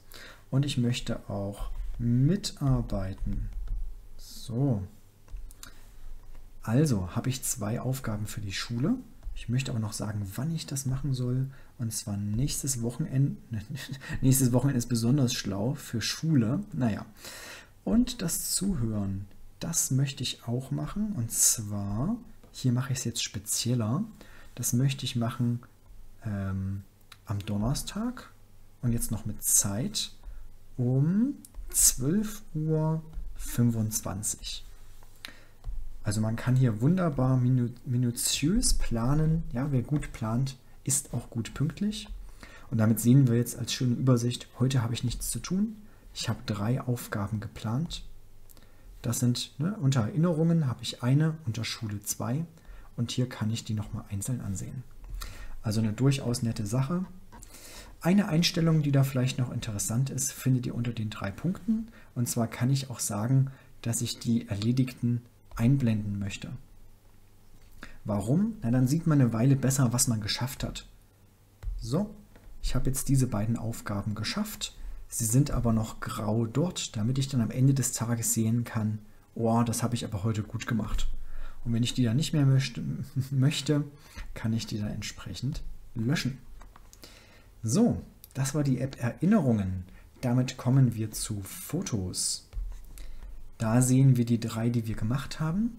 Auch äh, ganz am Anfang, wenn ihr euch noch zurückerinnert, habe ich ein ähm, Bildschirm, eine Bildschirmaufnahme gemacht. So sollte ja auch das eigentliche Video werden. Die spiele ich jetzt einfach mal ab, dass ihr seht, das funktioniert ja. Das Aufnahmezeichen dieser Aktion, ja, dass ich gerade die Bildschirm, diese Sachen hin und her geschoben habe, die wurde jetzt. Ja, also ich denke, das funktioniert ganz gut. Äh, ist eine nette Sache, wenn man mal jemandem was erklären möchte, verbraucht aber super viel Speicher. Daher werde ich das mal direkt löschen. Und löschen, wichtig, reicht nicht. Ihr müsst dann noch zu zuletzt gelöscht gehen und das nochmal löschen. Ja, jetzt will ich dich nicht mehr hören. Und jetzt löschen. Und jetzt wird es jetzt erst beim zweiten Mal wird es endgültig gelöscht und nimmt daher jetzt für uns auch keinen Speicher mehr weg. Achso, ja, was kann man da noch so machen? Eine wichtige Sache haben sie uns ja vorhin erklärt, wenn ihr euch erinnert, in den Details. So, Mediathek. Das finde ich gar nicht schlecht. Das geht bei Windows schon seit immer, aber jetzt auch bei Apple. Ich kann das Bild hochwischen. Die Effekte sind auch witzig. Aber jetzt kann ich ein Untertitel dazu schreiben. Und ich nenne das Stift bei Nacht. Schon ist das Foto viel mehr wert. So, ähm, das ist natürlich nicht schlecht, wenn man sich später daran erinnern will, wenn man überlegt, wozu gehört das Bild. Da ist mir schon oft zugegangen, dass ich interessante Fotos gemacht habe und danach gar nicht mehr wusste, warum ich die überhaupt gemacht habe. Kann aber auch an meinem Gedächtnis liegen. Ja, so viel zur Fotos-App. Damit zu Notizen. Die Notiz-App sagt uns, wir haben gerade keine Notizen. Ich mache jetzt mal eine neue. Eigentlich sollte die doch kariert werden, habe ich voreingestellt. Naja, aber vielleicht ist das so, weil ich ja gerade hier mit Stift schreibe. Mit, äh, mit Stift mit Tastatur. So, mit Tastatur. Und jetzt kommt auch, wenn ich nicht mehr schreibe, ähm, das karierte Blatt, so wie es sein soll. Dazu kann ich jetzt meinen Stift auswählen. Hier unten, zum Beispiel hier diesen blauen, so eine Art blauer Bleistift. Das ist tatsächlich ein blauer Bleistift. Wie nennt man das? Buntstift, ne? äh, und kann entsprechend damit schreiben. Oder hier mit Schwarz, so ein Filzer. Da kann ich auch grün machen und so weiter. Ist mit dem Finger natürlich nicht wirklich schön mitzuschreiben. Gibt es aber eben äh, wirklich gute Apps dafür. Und wenn man jetzt kein Geld für eine, äh, gute Stifte meinte ich, wenn man jetzt kein Geld für eine App ausgeben möchte, kann man das folgendermaßen lösen. Und zwar bauen wir uns hier einfach eine, ein schönes Notizbuch. Mit Plus nennen wir das Buch zum Beispiel Mathe, sichern das Buch. Jetzt entsteht hier ein Buch Mathe und dort können wir jetzt als erste Notiz, so, neue Notiz, das ist vielleicht Unterricht am 1. Ne? Ja, los. Will er nicht. Am 1.12.2020. Und ihr seht, die Notiz wird dann direkt so umbenannt. Mathe ist so cool. So, das, was die Schüler halt so typischerweise schreiben, die Buben und Mädchen. So, Mathe ist so cool. Ähm, damit habe ich jetzt ja, eine schöne Notiz und ich könnte jetzt danach wieder die nächste machen. Da seht ihr es schon, da erscheint sie. Das könnte jetzt halt die nächste Stunde sein und so weiter und so fort. Und dann kann ich das später schön sortieren und kann sagen, hier, das ist jetzt irgendwie Krickelkrackel und in Mathe, zuerst haben wir das gemacht, dann haben wir das gemacht. Und man kann das auch wunderbar hier verknüpfen. Ich kann zum Beispiel auf das Fotozeichen gehen und kann jetzt sagen, ich möchte ein Foto sogar neu aufnehmen, zum Beispiel von der Tafel. Oder ich wähle eins aus, das ich schon gemacht habe, hinzufügen und baue das einfach in, meine, ja, in meinen Unterrichtsentwurf hier mit ein. Und habe dann eine hoffentlich interessante Seite davon. Ja? Kann man also gut machen. Ja, mehr gibt es zu der Notiz-App auch nicht zu wissen. Eignet sich eben dann besonders gut, wenn man einen Stift hat. Für sonstige Notizen weiß ich nicht. Da würde ich eine der Apps empfehlen, die wir als nächstes machen. Da kommt nämlich auch schon Pages. Was für ein Vorteil, dass ich das Video heute schon mal gemacht habe. Ah. Und bei Pages, also Pages ist das Schreibprogramm von Apple, kann man eben Texte schreiben könnte ich jetzt ein Dokument erstellen. Jetzt fällt euch aber vielleicht was Spannendes hier an der Seite auf. Da steht iSurf, weil wir iSurf ja im Verlauf eben schon registriert haben. Ich kann als Speicherort jetzt also iSurf auswählen. Das ist richtig gut. Ähm, die beiden wichtigen Ordner heißen Files, ja, das wollte ich nicht, Files und Groups. Groups ist Gruppen und Files ist Dateien. Ähm, die anderen sind, würde ich, würde ich nicht speichern. Ich glaube, das kommt dann einfach nicht an. Also Files sind eure eigenen Dateien und Gruppen, das sieht man hier zum Beispiel Stammgruppe Afrika 3. Das ist einfach die Gruppe, in der ähm, Bubi Beispiel drin ist. Da könnte ich es also in der Gruppe speichern. Ich kann es jetzt aber auch in meinen eigenen Dateien speichern. Und hier mache ich jetzt ein neues Dokument.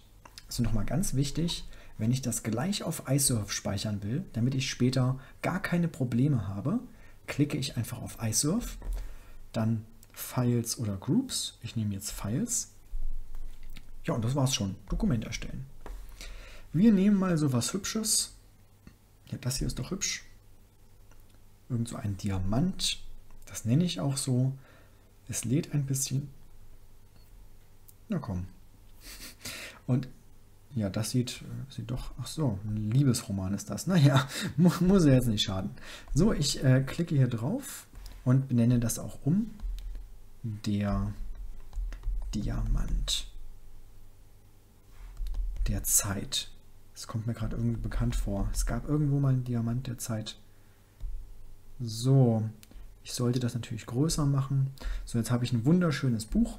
Damit wir das dann wieder äh, erkennen, immer einen Titel eingeben. Das ist jetzt also der Diamant. Ja, das soll mal reichen. Eigentlich müsste es jetzt schon live bei iSurf gespeichert sein. Ich klicke mal auf Dokumente und lädt hier irgendwas. Der Diamant, da steht es, 204 Kilobyte. Sollte eigentlich schon bei iSurf gelandet sein. Wir gucken einfach mal nach, gehen dazu in die iSurf-App. Und ich habe es ja bei meinen Dateien gespeichert. Da gehe ich jetzt also auf alle Module, auf Dateien und da steht es auch schon. Der, ah, das wollte ich nicht anklicken, da der Diamant und der Diamant, das kann ich jetzt einfach anklicken und da ist es schon geöffnet. Der Diamant der Zeit. Ja, mit ewiges Licht. Äh, naja, also von daher ähm, ne, bei den Vorlagen kann man sich immer was Schönes suchen bei Pages und kann das dann passend einbauen. Man kann aber auch ein leeres Dokument erstellen und dann damit arbeiten. Ja, bei den beiden nächsten Apps wird es jetzt genauso weitergehen. Jetzt kommt Numbers, damit macht man Tabellenkalkulation. Also alles, was irgendwie mit Tabellen zu tun hat. Ich mache das wieder genauso. Ich gehe auf iSurf und diesmal gehe ich auf Gruppen und speichere das in der Gruppe Stammgruppe Afrika 3. Vielleicht, weil mein Lehrer das gesagt hat, der will vielleicht, dass wir alle eine Tabelle hochladen. Und damit meine Lehrerin das auch findet, lade ich das jetzt eben in der Stammgruppe hoch. Ja, dann weiß sie auch, wo das Ganze ist. Und äh, ja, dann mache ich das mal. Tabelle erstellen. Jetzt aber was richtig Cooles, so schwarz. Ja, nehmen wir doch, das ist ja das schwärzeste von allen. Richtig schwarze Tabelle. Schwarz wie die Nacht. So, und Tabelle 1, ich leer schwarz, das klingt schon cool, aber wir nennen das Tabelle der Dunkelheit. Also da weiß ich auf jeden Fall, ob es geklappt hat zu speichern. Ja, und was schreibe ich? Ich klicke mal irgendwas so. Also man kann jetzt hier normalerweise, normalerweise rechnen. Mal so ein Beispiel, ich könnte jetzt hier eine 1 reinschreiben und unten drunter eine 15 und dann könnte ich in die nächste, ins nächste Feld schreiben, ist gleich, damit wird der Formeleditor aktiviert und jetzt möchte ich die Summe wissen. Summe, und da wird es schon vorgeschlagen, ich möchte die Summe von den beiden, von F2 bis F3. Enter und die Summe ist 16. Also dafür ist es eigentlich gedacht. So, ich bin fertig damit. Ich klicke wieder zurück auf Tabelle und lasse Ihnen kurz Zeit. Da, es lädt gerade, wir sehen das. Nicht übertragen steht da. Ist aber traurig. Ähm ja, ich weiß nicht, ob man da, ob man da noch mehr Speicher braucht oder ob ich ihm jetzt noch ein bisschen Zeit geben muss oder ob es darin, daran liegt, dass es in den Gruppen ist. Es gibt ja immer viele Sachen. Ja? Wenn man sich da nicht sicher ist, ich, oh, jetzt kann ich es auch nicht mehr anklicken. Wie ihr seht, ich habe das heute aber schon mal getestet. Die anderen Dateien haben auch funktioniert. Angeblich nicht übertragen. Ich starte das Ganze mal neu, würde ich euch dann auch empfehlen. Wir gucken einfach mal, ob sich da was getan hat. Da ist die Tabelle der Dunkelheit. Also sie steht zumindest im richtigen, ja, bei iSurf. Gruppen. Ah, hier steht es allerdings nicht tatsächlich. Stammgruppe, oder nee, da drin, ich habe es in Stammgruppe gespeichert, da steht die Tabelle der Dunkelheit. Also ob die wirklich nicht übertragen würde, würde ich jetzt mal bestreiten. Ich gehe bei iSurf auf Gruppen, Stammgruppe Afrika 3 und finde hier die Tabelle der Dunkelheit. Hat alles funktioniert. Ähm, naja, also es gab vielleicht wirklich einen Übertragungsfehler, dass der Inhalt weg ist, aber dann muss man es halt nochmal machen. Also grundsätzlich hat das Ganze auf jeden Fall hingehauen. Damit kommen wir zur letzten dieser Apple-Programme und das ist Keynote. Keynote, äh, die meisten kennen das Windows-Programm PowerPoint, das ist hier quasi das gleiche. Diesmal speichere ich das Ganze bei Documents, das habe ich ja vorhin schon erklärt. Hier sehen wir nochmal die Mona Lisa und was wir da sonst so hatten. Und jetzt klicke ich auf Präsentation erstellen. Ich möchte natürlich zuerst ein Thema auswählen und dann nehme ich gern dieses super bunte. Äh, das, was immer dort steht, ist übrigens Quasi-Latein, lorem ipsum dolor. Das heißt also gar nichts. Das soll einfach nur ein bisschen cool aussehen. So, und so eine richtig coole Präsentation heißt natürlich Hallo. So, und das reicht mir eigentlich auch schon wieder. Ich gehe zurück auf Präsentation ja, und eigentlich sollte es damit schon wieder getan sein. Wir sehen mal nach, ist das Ganze in Documents angekommen?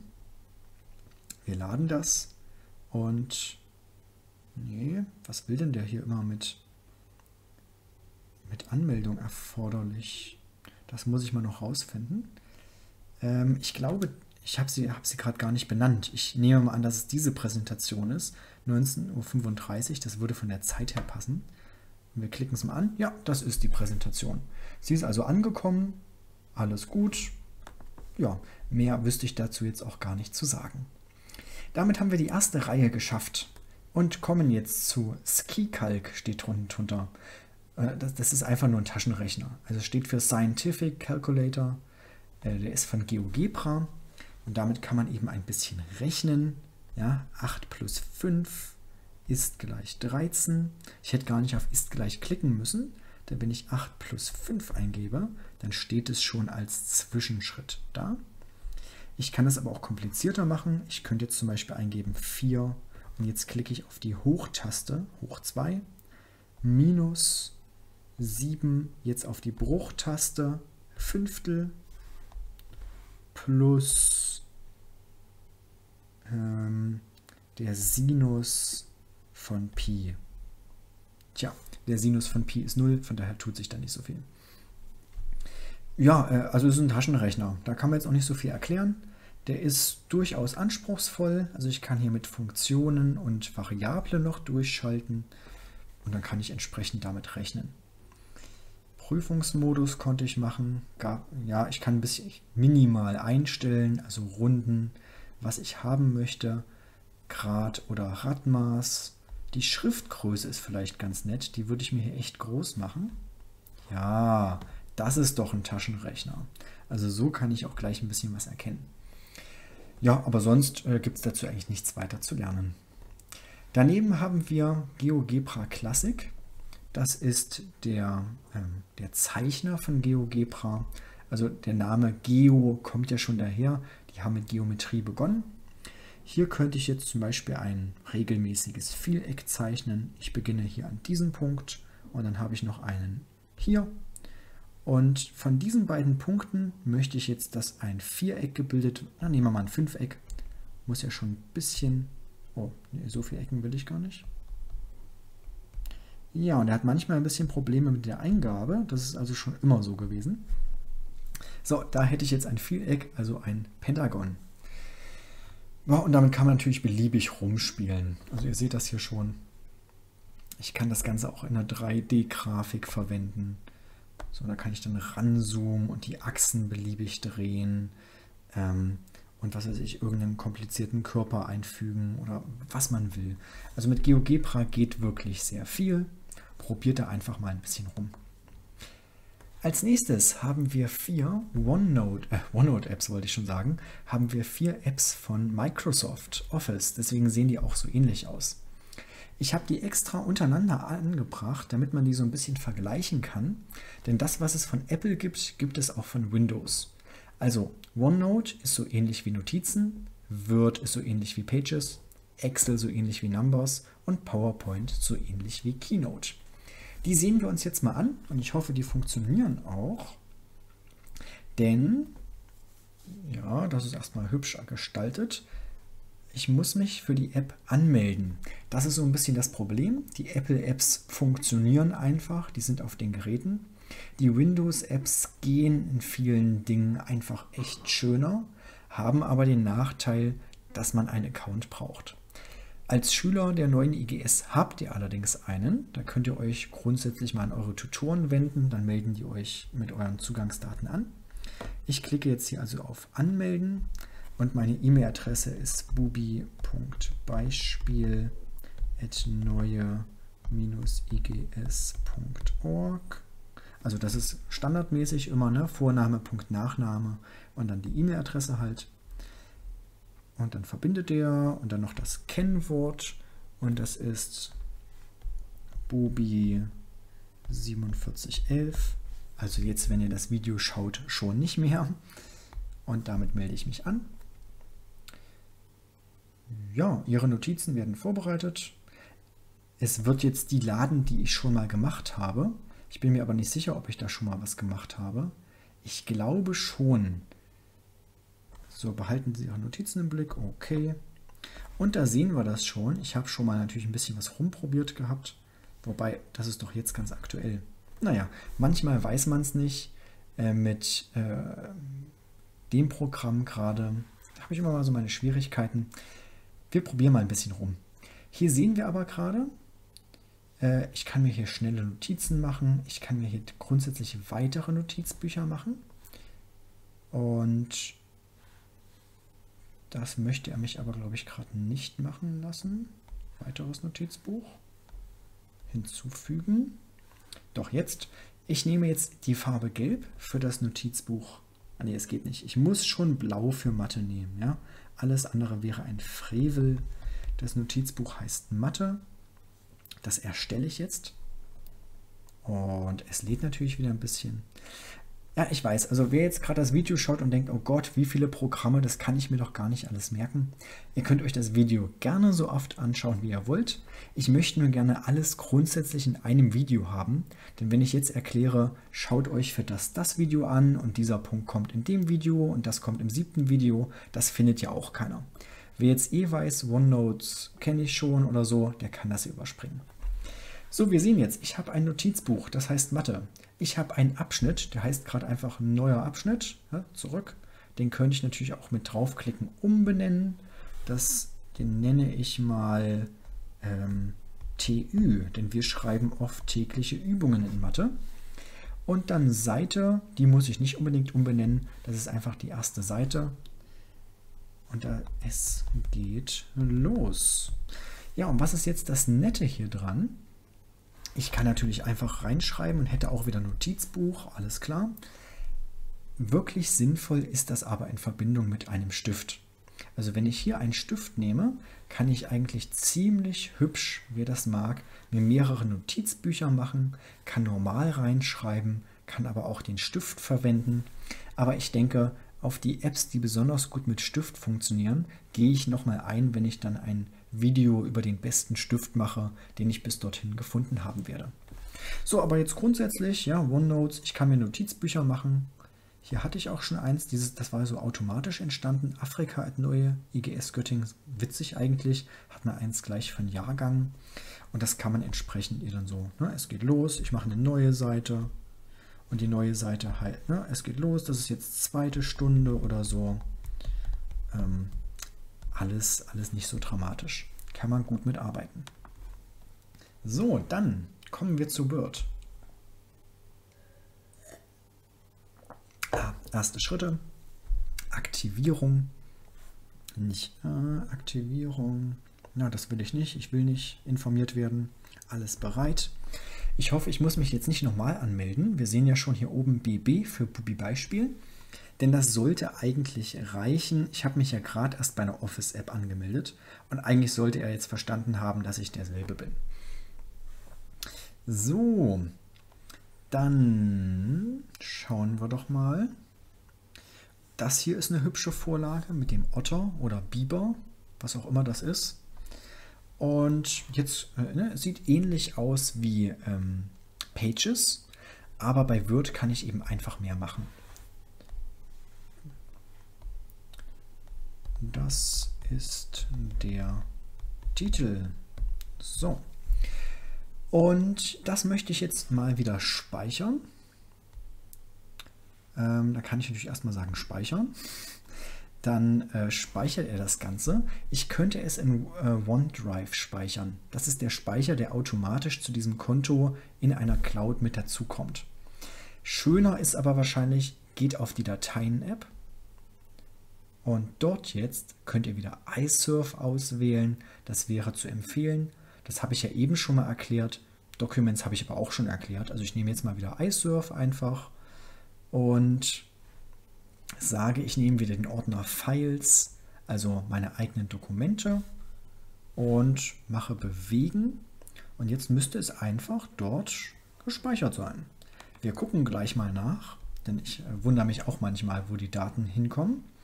Ich klicke auf Dateien, auf eigene bin ich schon und jetzt sehen wir dort Dokument.docs also diese mit X hinten sind immer die neuesten von Windows. PPT ist PowerPoint Presentation. Doc ist Document. Dagegen Pages und Numbers, die heißen auch immer am Ende so. Also das da haben wir gerade erzeugt. Ich könnte das jetzt wieder anklicken und dann öffnet sich das und da ist es. Das ist der Titel, hat alles funktioniert. Ja, vielleicht noch was Kleines dazu zeigen. Euer Lehrer möchte vielleicht dieses Word-Dokument gleich als PDF haben.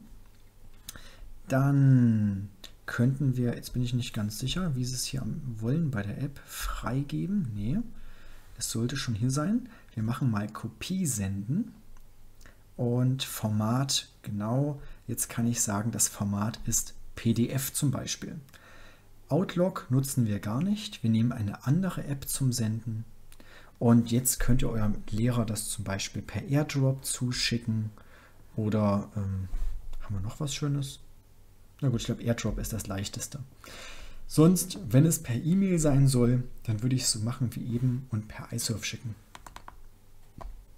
So, ich schließe mal wieder ein bisschen. So viel haben wir schon wieder gemacht. Dann kommen wir zu Excel, dem schönsten aller Programme. Erste Schritte, nicht jetzt. Dokument erstellen und bearbeiten. Wunderbar. Und hier mache ich jetzt mal eine leere naja, also jetzt muss ich überlegen, wenn ich eine leere Arbeitsmappe mache, ja doch, dann muss ich eben wieder im Nachhinein einstellen, wo ich sie speichern möchte. Also entweder sage ich gleich, wo speichere ich und dann kann ich einfach arbeiten, oder ich muss am Ende dran denken, wo möchte ich das Ding denn eigentlich speichern. Ja? Ähm, so, dann klicken wir mal hier rein.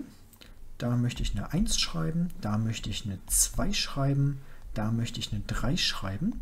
Jetzt markiere ich das Ganze und aus, Jetzt überlege ich, wie das bei der App funktioniert. Automatisches Ausfüllen. So wahrscheinlich. Ausfüllen. Äh, nee. Also es gibt bei, äh, bei Excel nämlich einige Tricks, die man da gut nehmen kann, die einem sehr die Arbeit sparen. Wie ihr vielleicht schon erraten habt, ich wollte eigentlich gerade, dass das automatisch hier fortgesetzt wird. Ja, aber ich habe keine Ahnung, wie das am Tablet geht.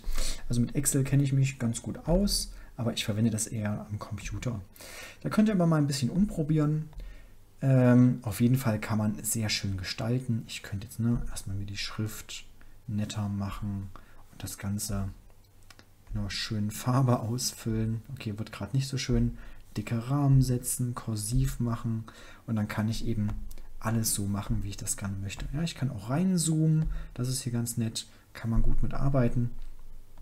Und vor allem, ich habe eben gut die Formeln dabei. Also ich könnte jetzt hier was Ordentliches arbeiten. Zum Beispiel kann ich sagen, wenn ähm, ist leer, gibt es das schon? Ja. Wenn ist leer, das Feld oben drüber, also wenn dort in dem Feld nichts steht, jetzt soll er mir aber noch nicht so, ich möchte noch rein, wenn das Feld A3 leer ist, dann soll mir das Programm, ich brauche das Semikolon, Ja, ist gerade echt Quatsch, was ich hier mache, eure Zeit verplempern. Aber ich wollte nur mal zeigen, was man so mit Excel machen kann.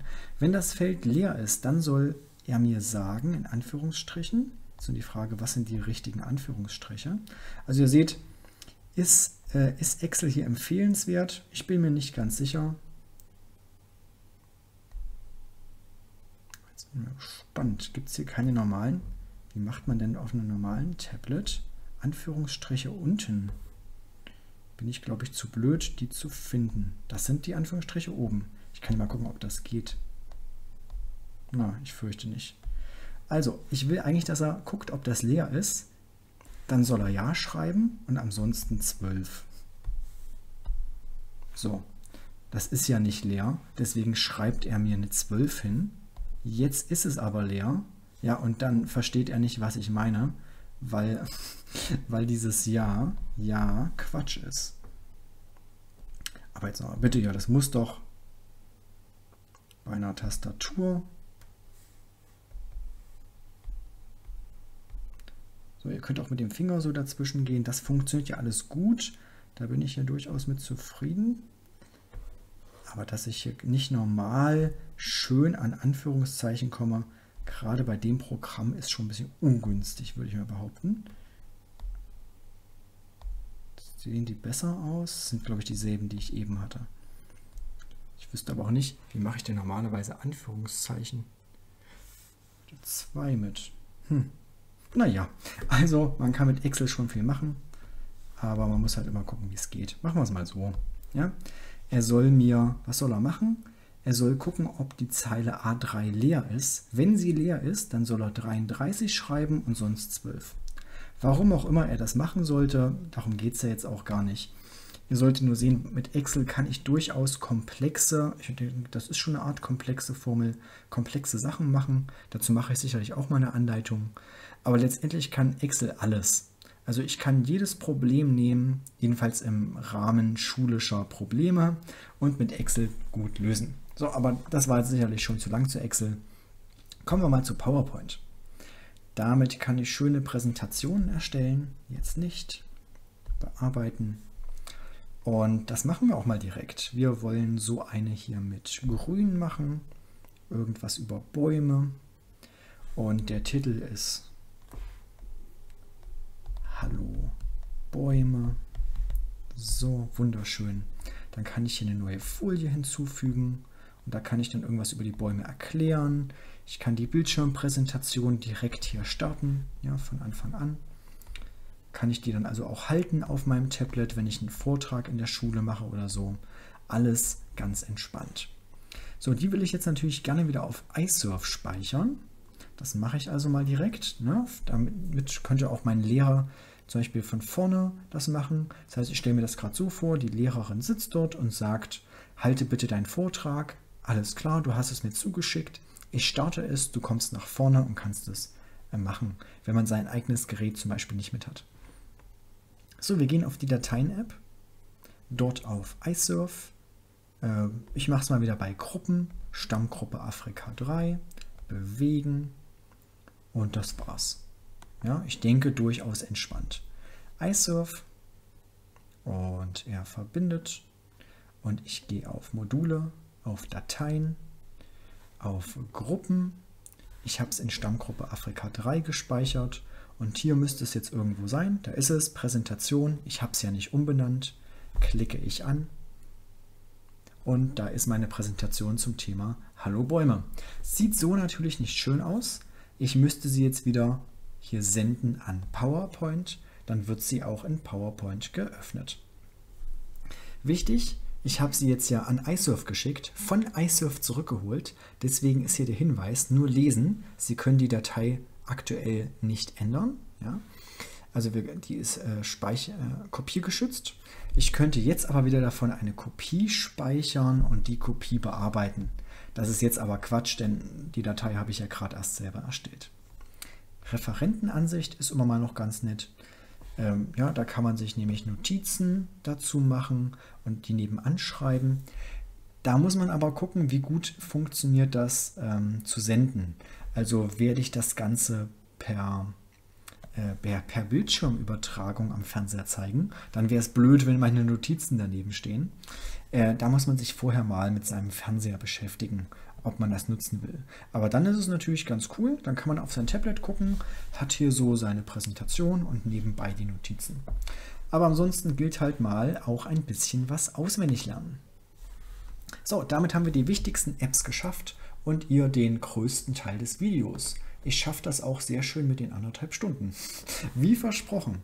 Denn zu den nächsten Apps brauche ich immer nur ein Minütchen.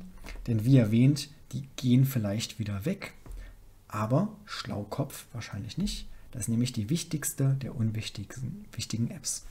Da können wir zunächst bei Schulart einstellen.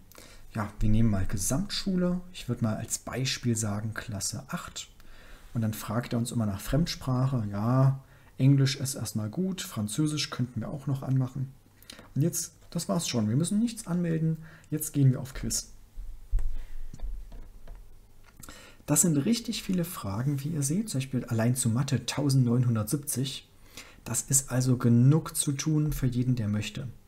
Beim ersten Mal auswählen dauert es aber eine Weile, bis sie, äh, bis sie geladen werden. Ich nehme da hier das kleinste Thema hier, binomische Formeln. Und ach, das ging jetzt doch ganz gut mit Laden, waren ja nur 50. Welche binomische Formel ist a plus b zum Quadrat? Das ist natürlich die erste. Und dann kommt als nächste Frage, wenn ich hier weitergeklickt habe, a plus b zum Quadrat. Das ist eine binomische Formel. Sage ich zum Beispiel richtig und ich freue mich. Und da kommt noch eine kleine Erklärung. Und jetzt kommt hier eine Formel. Da sollen wir sagen a Quadrat plus 6a plus 9. Und wir denken fälschlicherweise, hm, es könnte das sein. Oh je, war leider falsch. Macht nichts und dann macht man einfach weiter. Ja? Also eine nette kleine Lern-App mit einfach wirklich jedem Thema. Finde ich daher ganz schön. Dann haben wir M-Block Blocky. Ich mache gleich mal leiser. Jedes Mal, wenn ich die App sehe, tut es mir schon leicht in den Ohren weh. Denn äh, die, da kann man schlecht einstellen, dass sie leise ist. So. Okay, Bluetooth. Was können wir da machen? Wir können ein Lernprogramm verwenden für die M-Bots. Die M-Bots sind diese niedlichen kleinen Roboter, die haben wir im Forscherraum. Ihr trefft sie aber auch im Informatikunterricht in Klasse 6 und 8. So, und der lustige Herr Panda will uns hier erklären, wie die M-Bots funktionieren. Und dann müssen wir unseren M-Bot anschalten, auf Verbinden klicken. Ich habe jetzt natürlich keinen da. Und dann können wir ihn damit steuern. Außerdem können wir eigenen Code erstellen. So, ich verbinde es mal später. Wir könnten zum Beispiel sagen, wenn auf Start geklickt wird, soll der M-Bot vorwärts fahren für zwei Sekunden. Ähm, und dann kann man das schön äh, mit Informatik bauen. Ich könnte jetzt sowas machen wie, falls ein Hindernis voraus ist, dann biege rechts ab und sonst fahre weiter geradeaus oder sowas. Also nette kleine Informatiksoftware. Genauso auch wie Playgrounds daneben. Das ist eine Apple-Variante. Wir sehen hier verschiedene Lernprogramme, die man sich dort laden kann. Gut sind die zum Programmieren lernen. Da sehen wir immer diese kleinen Aliens und die müssen wir durch verschiedene Level steuern. Zum Beispiel mit, hier kann man das eventuell erkennen, ohne dass ich es jetzt lade.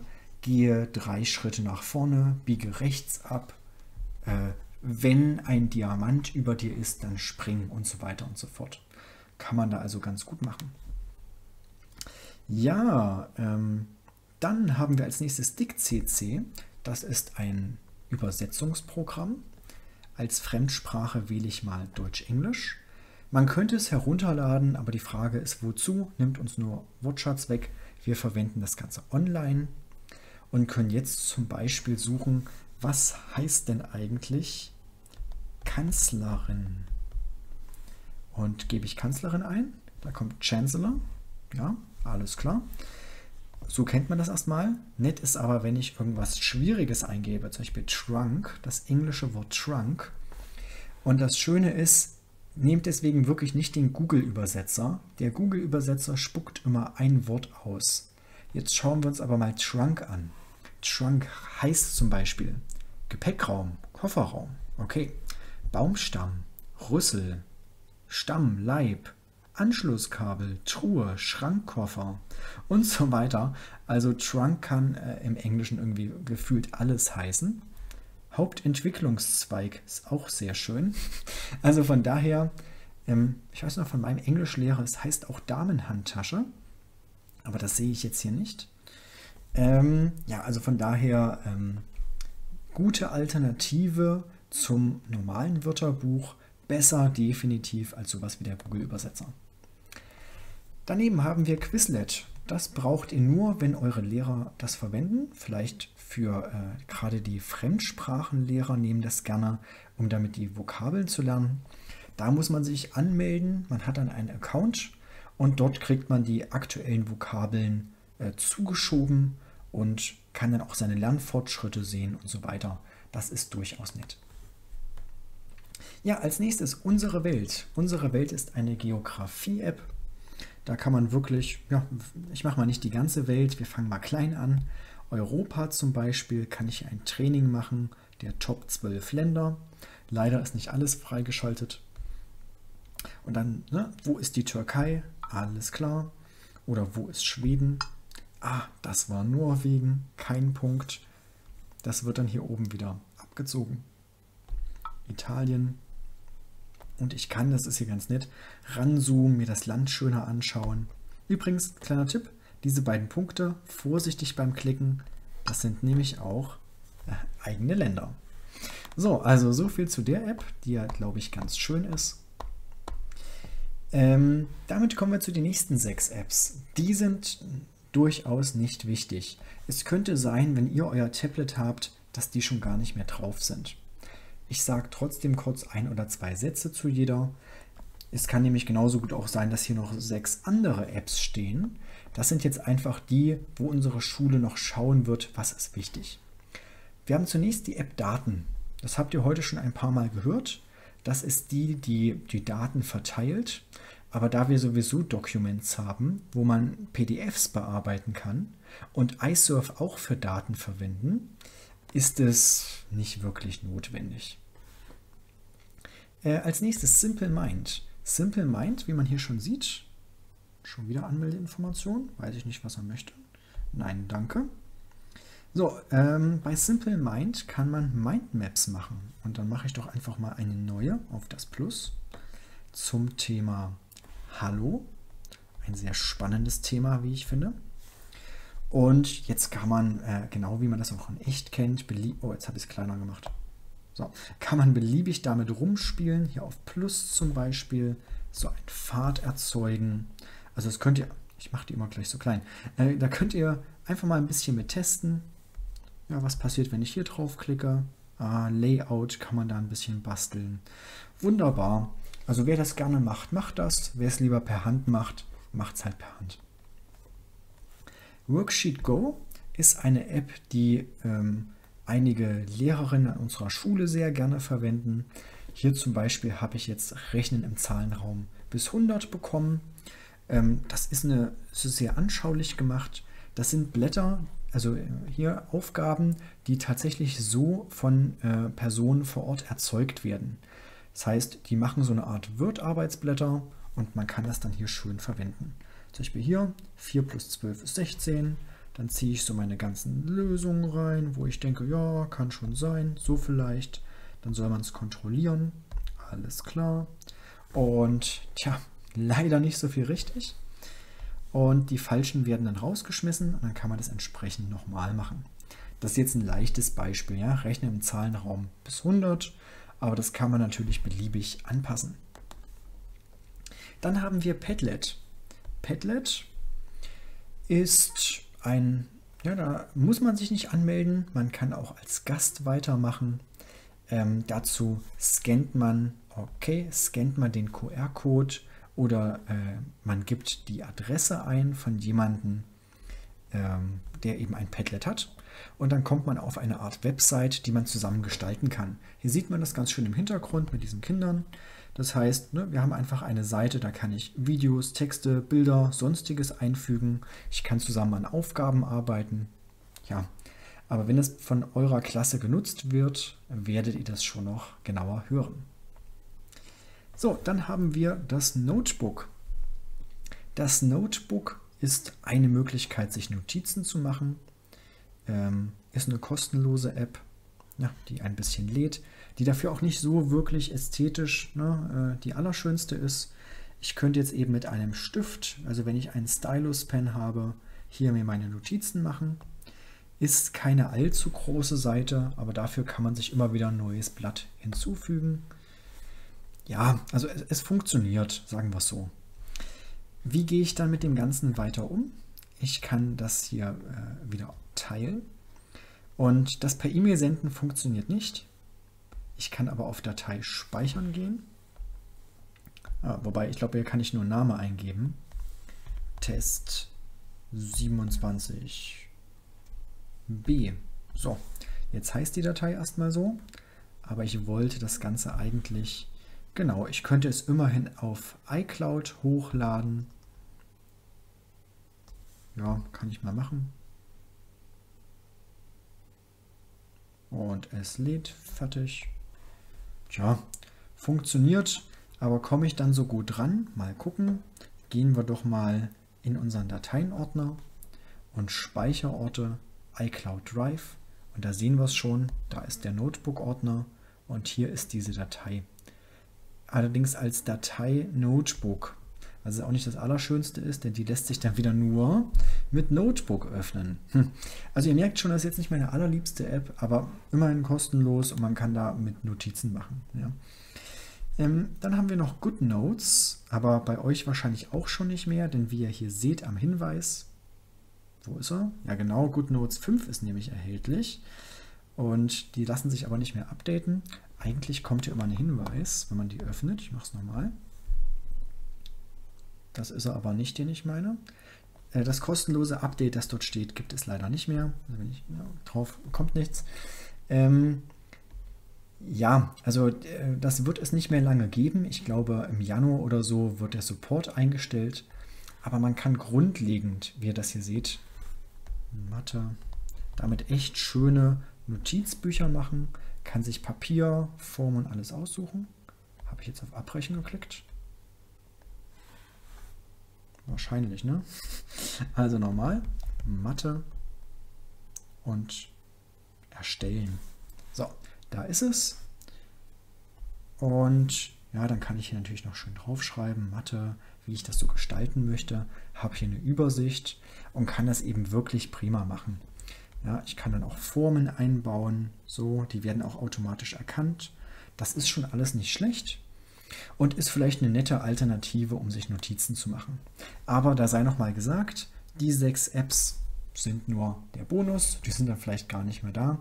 Wichtig ist, dass ihr euch mit den Haupt-Apps im Dock auskennt, mit den wichtigen Apps, mit den wichtigen äh, nee, Haupt-Apps, den wichtigsten Apps und den wichtigen Apps. Und alles, was dann da drunter ist, erstmal sehen, ob man das langfristig braucht. So, das war unser durchaus langer Durchgang durch das iPad. man kann dieses Video in einem Blog fast schaffen, muss man nur ein bisschen in die Pause ziehen. Ähm, ich hoffe aber, ihr habt euch das, ihr habt gut durchgehalten und das geschaut. Dann wisst ihr jetzt nämlich wirklich alles, was man darüber können muss und müsst nicht immer eure Lehrerinnen und Lehrer dazu fragen. Ne? Ähm, wie geht das Ganze aus? Wenn ich einmal klicke und wieder an, ja, das war dann nur dieser Standby-Modus. Aus geht es, indem ich die, äh, den Anschalter lange gedrückt lasse. Ich mache das einmal. So, und dann ausschalten, switche. Damit, jetzt hat man mich nochmal zum Abschied gesehen. Damit äh, sind wir fertig mit diesem Erklärvideo. Ich hoffe, ihr habt es soweit gut verstanden. Und ja, noch einen schönen Tag.